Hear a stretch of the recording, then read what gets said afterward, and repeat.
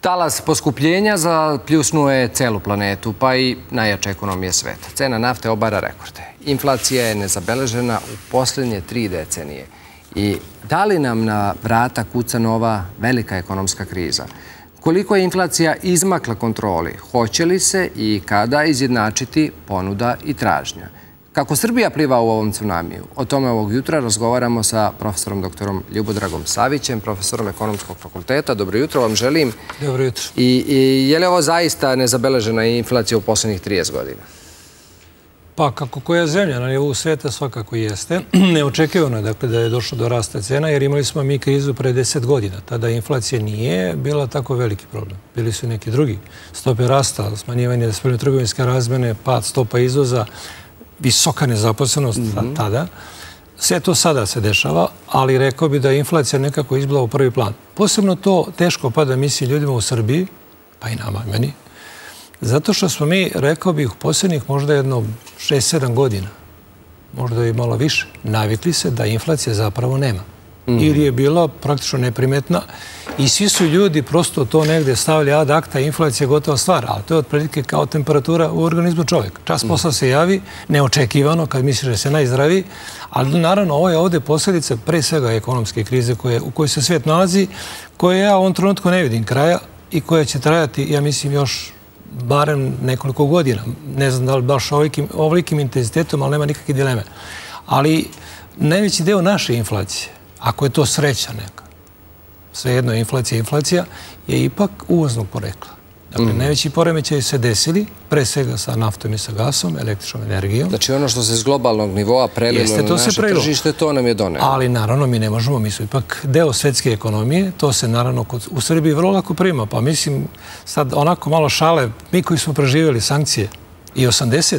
godine, kada je bilo zamrzavanje cena, pa visoki nivoa cena, ja znam da smo kupovali benzin za 7 maraka, a radili za 20 u nekom trenutku, ili 25 koji ima malo više sreće, pa smo to preživjeli. Ovo je ako iz tog ugla posmatramo... Ovo pa ne treba nam još jedan test. Ne treba, ne treba. Slažem se. E, dakle, e, evo, vi ste mi odgovorili, e, neki slučnjaci kažu da je ovo privremeno karaktera. To nije tačno onda ili jeste? Pa i na život je privremeno karaktera. Nekome traje 70, nekome 20. Šta je u ekonomiji uopšte privremeno? Pa nema. Niko ne može... Sad kad neko mogu da kaže, da, ova inflacija će se završiti za nekoliko meseci i dobiju mi Nobelovu nagradu nemoguće je prognozirati, pogotovo kada dođe do globalne ekonomske krize. Kad imate to na nivou jedne zemlje ili nekog regiona, ili da kažemo grupacije zemalja, a da su drugi stabilni, onda to može nekako da se sanira i predvidio je. Mhm. A kada imate da je globalna ekonomija izašla iz ravnoteže, to je jedan ogroman sistem koji se vrlo teško vraća u ravnotežu. Trebaju meseci, da ne kažem godine, naravno može biti e, vrlo važno koja je tendencija, da li će ona ići gore, ili će ići dole. Kako sada stvari stoje, nije ovo najviša stopa inflacije. Meni se čini da će inflacija ići na globalnom nivou gore. Mhm. Jer svi problemi koji su bili ili koji se javljaju, oni su u stvari se ne rešavaju, nego samo se produžavaju i delaju zapravo još žešće. Da, pa evo to što pričate, analitičari su analitičari su očekivali da će ovog se januara usporiti upravo taj rast inflacije, bar u eurozoni, Ali se desilo suprotno. Ona je oborila i decembarski rekord i sa 4,4 došla je na 5,1%. Dakle, e, e, šta možemo kažemo? Da su u monetarnoj uniji toliko troškovi poskupeli, otišle cene e, svega, rast cena predvodilo je najviše poskupljenje i nestašica energenata, zatim poskupljenje, tu je hrana, alkohol, duvan, Sve će zapravo... Šta će nas još tresnuti po glavi od ovoga? Sve će ići gore. E, samo pitanje u kojoj meri će ići. Ono što je neophodno za svakodnevni život, prirodno je, za njim postoji najveća tražnja, jer ljudi se pregrupišu.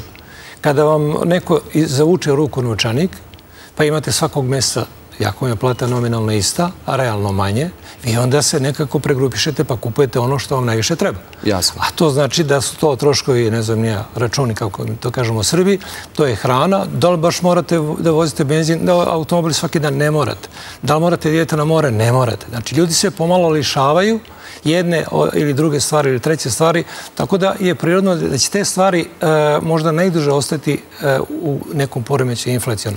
Ali ako dozvolite, Šta je problem sa inflacijom? Ona ima realne uzroke i rekli smo u ovom trenutku, ajde da ne idemo daleko, mislim, pokidani globalni lanci snabdevanja, skuplji prevoz, da pojednostavimo potpuno stvari, je doveo do rasta cena. I to je inicijalno povećanje cena. A onda se na to nadovezalo cena nafte, ali se onda podsjetimo, u nekom trenutku ona je bila minus 10, kratko vreme, kada su oni američki tankovi bili prepunjeni, a istovremeno prema američkim lukama plove drugi tankeri koji dovoze novu količinu nafte, tražnja stala, onda su oni nudili 10 evra samo da kupiš. To je trajalo kratko. Danas imamo negde cenu nafte na skoro 92-3 dolara za jedan barel. U novije vreme najviša cena je bila 150. Dakle, nismo mi dostigli još uvijek... Taj maksimum. Tako je, tako je neki maksimalan nivo. Ali na ovo se, dakle, sve nadovezalo, znači, e, skok cene nafte, ali i posebno cene gasa i cene električne energije. Evropa se nekako pouzdala ona je, da kažemo, čistu energiju, smatrajući da je to budućnost Evrope i to može da funkcioniše kada nema poremeća. Međutim, kada je došlo do ovakvog poremećaja, a još na nesreću, ti, da kažemo, izvori su presušili, odnosno proizvodnja električne energije iz tih izvora je bila smanjena, pa kad se onda pricili Rusiju sa druge strane, Sada imamo jednu absurdnu situaciju koju je u stvari... Pa kad su ovaj- ih izneverili američki partneri pa prodali pa Azijatima... Pa tamo više platili, ovi iz Azije platili više, tako je. Iako su oni usmjerili neke brodove, ali ne može Amerika sa tečnim gasom da pokrije potrebe Evrope, kao što to može Rusija. I sad imamo jednu paradoksalnu situaciju da bi u stvari evropljani koji zavise od ruskog gasa htjeli da postavili u Rusiji uslove po sistemu ne možete vi da dižete cenu i morate vi nama da isporučujete, ne moramo ništa. Zato što je sada gas, zato što je električna energija, zato što je nafta manje, ali pre svega gas je postao geopolitičko oružje. Videli smo gospodina Bajdena koji kaže ako napadne Rusija Ukrajinu, mi ćemo stopirati Severni tok 2. Mm. Dokle smo došli, naravno, to je retorička priča. U svak slučaju, e, to su stvari koje su dovele do, do e, ubrzavanja inflacije i to je ta realna komponenta. Ima još različitih faktora. Ali ima jedna koja je jednako važna kao ta realna, koja nastupa poslije realne, to su naše očekivanje u glavi svakog čovjeka. Evo, ne treba ošte sad tu biti mnogo pametan. Dobri, šta mi je Svaki čovjek kad ode u, u prodavnicu, on gleda, aha, pre godinu dana ga briga bilo, svaki dan je ista cena bila, čak i mogu da očekuju neku akciju da bude niže. Sada on se za sljedeći put dođe, nije više 120 dinara, nego 180 ili 220 dinara. Aha, to znači ove cene su krenule. U njegovu glavu su usadi očekivanje koje ne mora da bude realno. Da. Kažu ljudi najviše su videli prema sipanju goriva, benzina. Pa, Ranije koliko je... Mm. Da, pa evo, ja po sebi mogu da kažem, sipa je, pošto ja vozim dok dok ste sve lampice ne zatrvene. Ja najviše po moje supruzi koja svaki dan kaže ja nemam novaca. E, pa, ali to je, ali to je eto, I ranije kada, kada, sipate, e, kada sipam pun rezervoar bio je tu oko 9-9,5 hiljada. Sad je skoro 11. Tako je. Ali samo da dozvolite, znači ta psihološka komponenta u glavi, šta će se desiti sa cenama? Pa onda ljudi počnu neko ko ima viška novca, pa kupuje više nego što mu treba. E, A je li to pojačava problem? Naravno, jer to je povećana tražnja. Ljudi, oni koji prodaju, oni dobiju potpuno, da bome potpuno e, pogrešnu informaciju, jer je povećala tražnju, diže cenu umjesto da je spušta. I to je, a svači izlaz neči, cena nekog proizvoda je kod nekoga ulaz, da li kod potrošača, da li kod drugog proizvodjača. I to je ono zjedanje cena koje samo kad počne, to je kao ona spirala koja se širi nagore, nažalost. A šta, šta je nama sad ovde? Je li nam e, olakšavajuća okolnost to što smo zamrzli cene ovih osnovnih proizvoda? A to smo samo kupili vreme. Da prođe izbori drži vode dok majstori odu. Mislim, to je, ne mogu ja kažem da to nije u redu mera u ovom trenutku. Mislim, to je, ja, kao što smo imali e, i sa onim varednim stanjem za vreme početka epidemije, mhm. kada smo ljudima, osim nekih ekonomskih mera, poslali jednu snažnu poruku, država je iza vas, jer smo ljudi bili uplašeni, jednostavno nisu znali šta, niko od nas nije znalo šta nas čeka, šta je ovo. Tako je sa inflacijom. Ovo je, dakle, posljedne decenije, šok za mnoge ljude.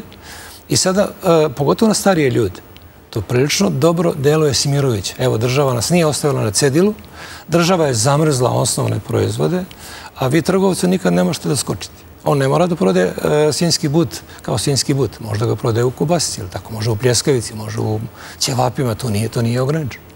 Mm. Znači, znači vi ako pre, pre, pre, prestrukturirati. Pa nije sirov but, nego je prelađen, gotovo je. Prodate meso u drugoj formi, ono više ne podleže. Nikad, tako je. Nikad zamrzavanje cena nije u dugom roku moglo da reši problem. To samo stvara sljedeći problem. A to znači da će ljudi... Hoće li taj problem biti veći posle... Pa neće ovo trajati dugo.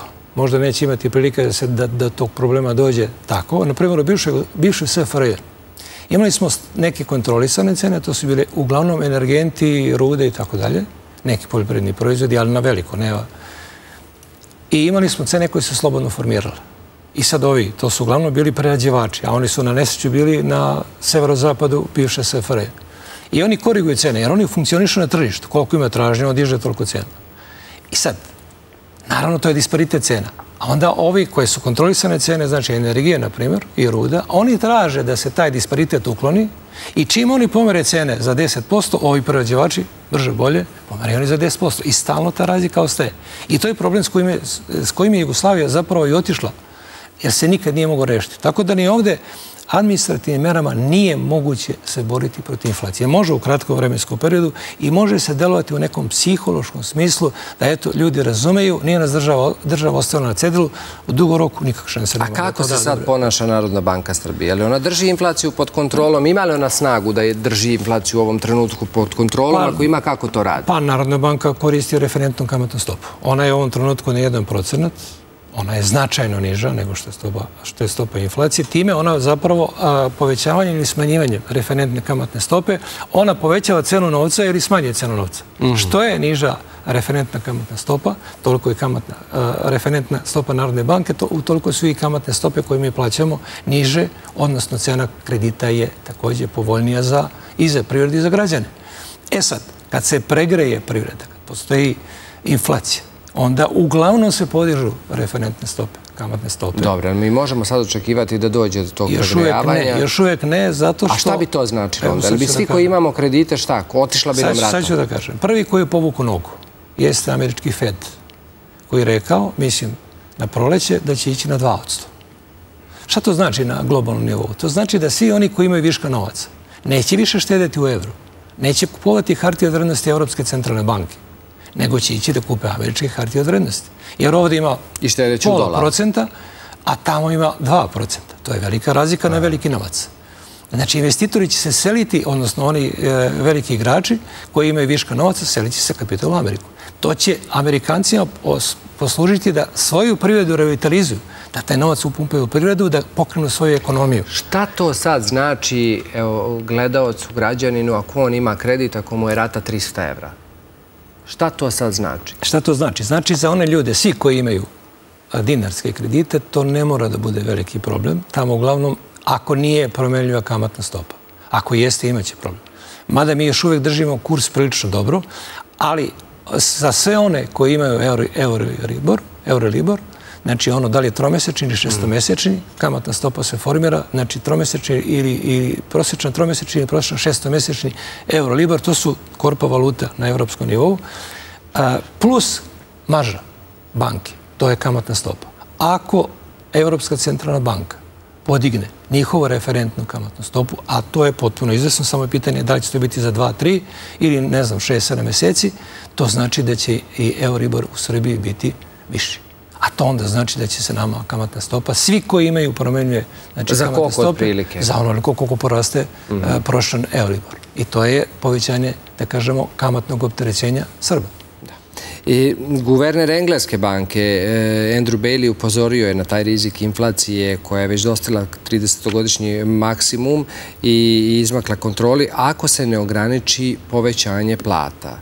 I sad, da li je to dobro rešenje u ekonomskom smislu? Eh, da li je to između ah, bolnog pada životnog standarda i borbe za smanjenje inflacije. Je li to taj odabir sad? Pa to je instrumentari, ako sam razumio dobro, da se ne povećavaju plate, jel? Da.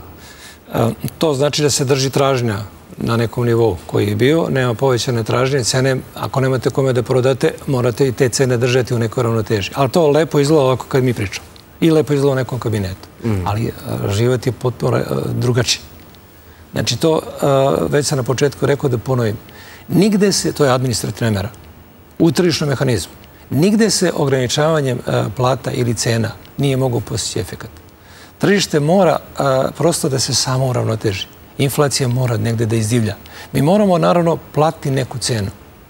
Ja samo verujem da ova inflacija neće preći, ne znam nija, nekoliko desetina procenata, to je već strašno. Ako je ona do 10 procenata, u ekonomiji se smatra da je to tolerantna, podnošljiva, nije dobra, ali podnošljiva stopa inflacije. Kad već dobije ono drugu nogu, e onda ona nastupa i ona inflacijona očekivanja u našim glavama, e onda svi pumpamo pomalo u svakodnevnim aktivnostima, pumpamo pomalo inflaciju i ona tada može da se otrgne kontrole. Svi zapravo univerzalna mera koju preduzme centralne banke jeste da se diže referentna kamatna stopa, da srpski rečeno cena kredita bude visoka i da time smanji zapravo pregrenu tražnju, odnosno aktivnost, da kažemo, predzeća. A čekajte, sad mi objasnite. Mi ovde posljednjih nekoliko godina imamo utisak da su stvari krenule na bolje. Da je veća plata, povećava nam se plata. I sad predsjednik je rekao i pre nekoliko meseci i bilo je tih mera, evo sad su mladi dobili po 100 evra, pa je penzionerima porasla plata, pa je u zdravstvu i nas raduje to, taj rast plata. A zapravo, jel treba sad da nas raduje, kad, kad mi ovo sve ispričate što ste sad ispričali, a ovde Bailey kaže ograničite plate, a mi povećavamo plate, da li u ovim okolnostima je dobro što mi povećavamo plate ili ne? Pa dobro, uvek je dobro da se povećavaju plate. Pa nama milo, to je super, ali su li okolnosti takve da... Izvinite, dobro je što nama ide dobro.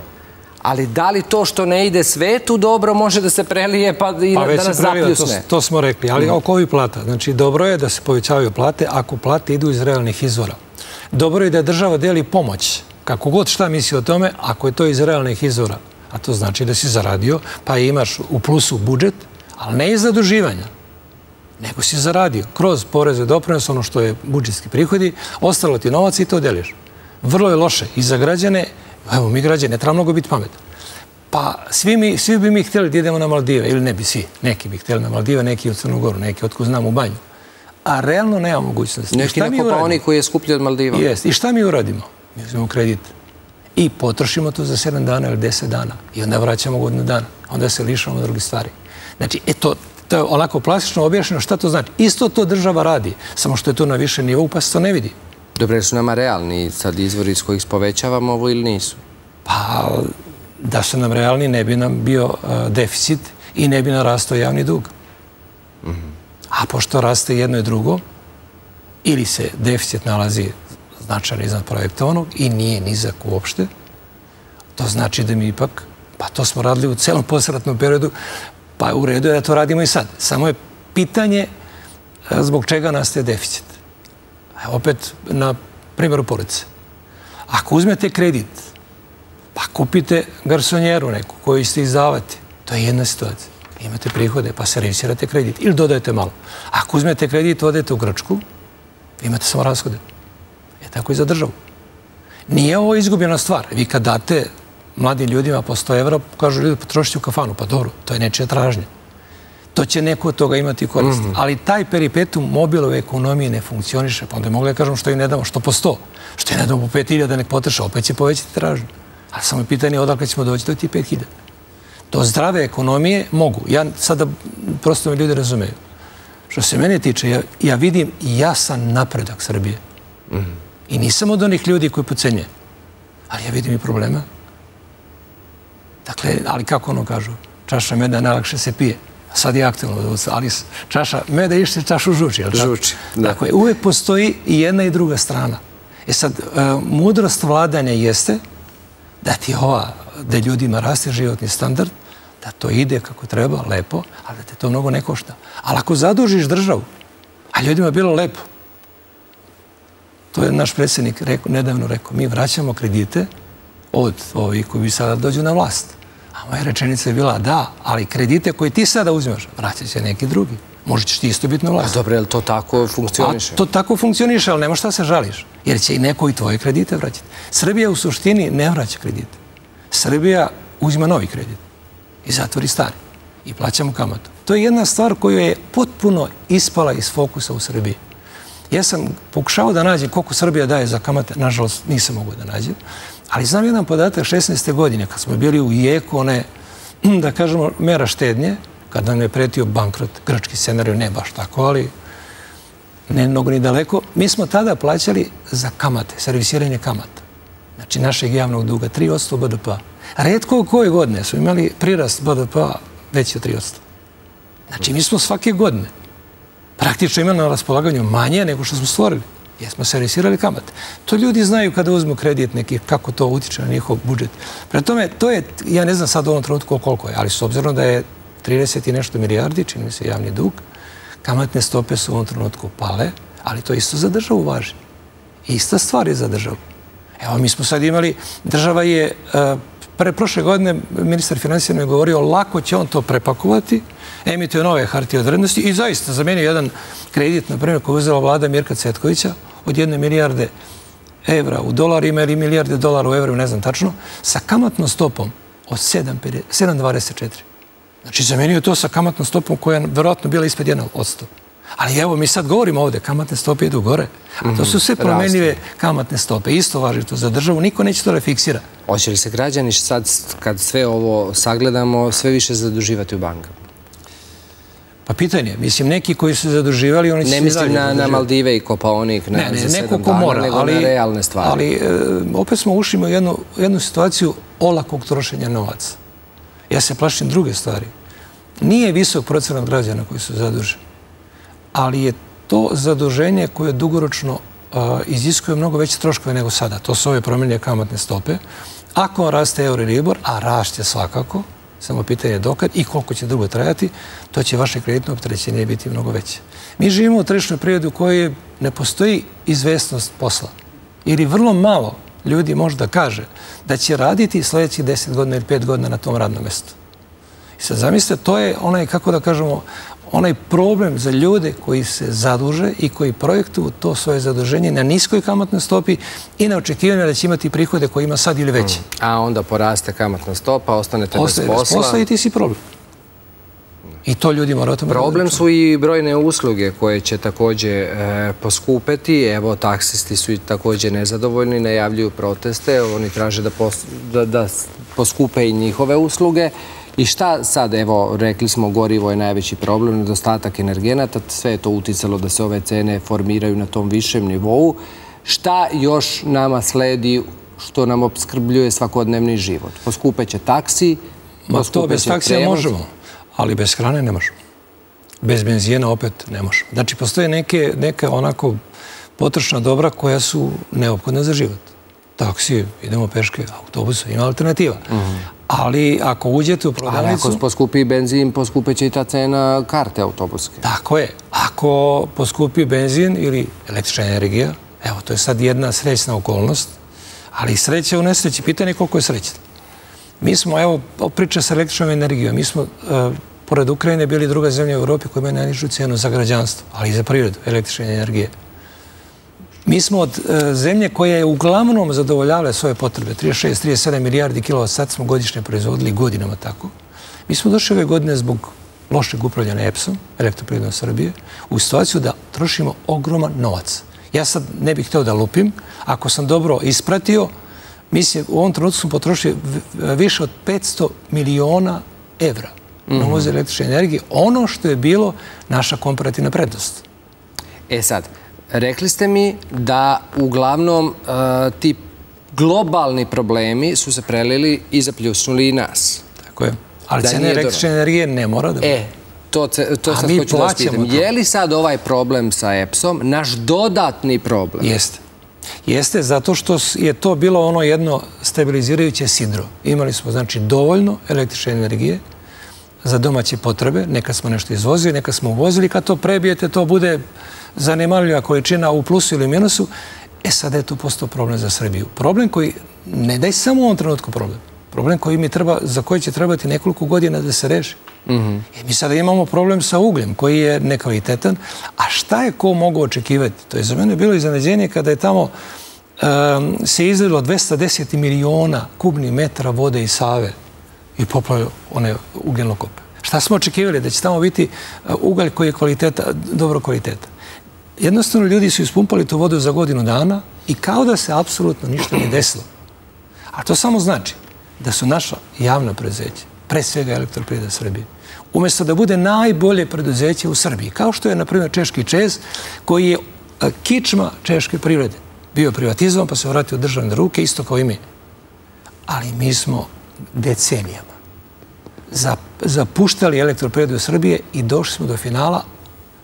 Moram se izviniti ako nisam dobro čuo informaciju, a čini mi se sam čuo od predsjednika Vučića, da rekao u nekom trenutku mi smo pokrivali, nadam se da je to kratko trebalo, pokrivali svega 8% naše potrošnje iz domaćih izvora. To je strašna stvar. Znači, od samodovoljnosti došli smo do, govorimo o električnoj energiji, mhm. došli smo do svega 8%. A to je u stvari rezultat lošeg rada, ne bih rekao samo elektroprivrede Srbije, rekao bih i nadležnih ministarstava. Ja prosto ne mogu da verujem. Da ministar kaže to je njihov problem. Pa šta je problem ministra?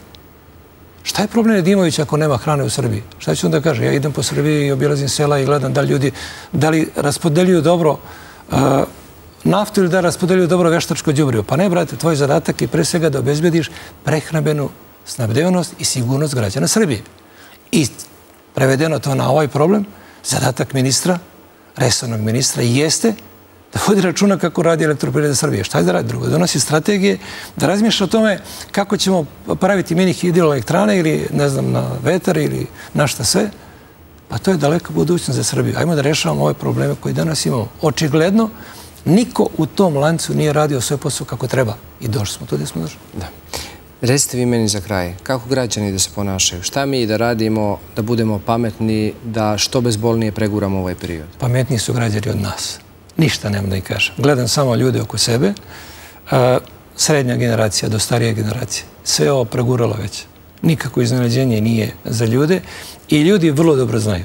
Lišavaju se jedne po jedne stvari i čuvaju negde za crne dane. Ne znam da li znate informaciju. Najbolji platiš onih usluga infostana su stari ljudi, penzioneri. Znači, prvo plate to, pa šta ostane. Eto, on čovjeku ne treba savjet, oni vrlo dobro znaju šta moraju da rade. Savjet treba za ovu srednju generaciju za mlađu generaciju koji su zapamtili, živjeli deset godina bez inflacije i sa dobrim statusom, dobrim prijemanjima, dosta posla. E sad, E, sad, e, e jedno i zaista je kraj, neću vas više zadržavati. Sad kad ste odgovorili ovo, javilo mi se drugo jedno pitanje. Da li možemo sad očekivati upravo rasti inflacije i sve ovo što ste i pričali? E, rekli ste, mora se odvajati za crne dane. Dakle, mora negde postojati ta štednja. Hoće li ta štednja konačno se malo... Hoće li se svim ovim skakanjem skočiti i ta kamata na štednju? Neće. Neće. Neće. Ja pamtim 2008. Pa evo sad ću da vam kažem.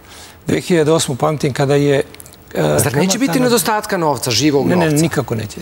Kada je kamata na deviznu štednju bila 8,5%, pa 5%, pa 3, pa 2. Sećam se, pa čekate nedelju štednje u novembru, pa tad vam daju još dodatnih 1-2. Sada je 0,15%. Ja mislim da smo mi, da nije bilo ove krize, da bismo došli u situaciju da mi plaćamo bankama da nam čuvaju novac na sigurno, ako je sigurno. I ovo neće ništa promeniti? Dinarima je nešto malo bolje. Pa nema potrebe, zato što oni praktično, njima sada ti depoziti u nekom smislu predstavljaju opterećenje. To su uglavnom domaće strane banke. Oni imaju dovoljno novca. Oni ako nema domaće štednje, oni će novac dobiti iz centrale i njima to nije problem. Tako da ne očekujem da će se... A hoće li se onda nastavljati ovaj ciklus ulaganja kad vi kažete neću držim pare u banci skoro da mi negativna kametna stopa? Hoće, zato što još uvijek imate vrlo povoljne kredite. Jutro se je bio, mislim, gospodin iz Narodne banke koji govori ovo je prilika da napravi investirati u stan. Zato što su još zaista, još uvijek kamatne stope su vrlo niske i kao da se ništa nije desilo. Znači, rašće nam i cene stanova i dalje. Pa one već rastu. Pa Ali rastu zbog drugih stvari, ne zbog kredita. Pa hoće li ovo dodatno ubrzati i povećati? Pa za sad neće. Ali ako poveće, ako... E, pa ne, nema veze to jedno drugo. Nema veze e, e, krediti sa čak čak niska kamatna stopa, manje kreditno opterećenje, lakše uzimanje kredita povećava tražnju za stanem i onda možda poveća. Pa to vam kažem, znači neće ljudi više štede pare u banci jer im je niska kamatna stopa. Ne, ne, ali ako se poveća kamatna stopa na kredite, manje ljudi će aplicirati za stan. Biće iskuplji kredit, veće mhm. opterećenje i bit će manja tražnja. To je tržište. Hvala vam. Hvala vam.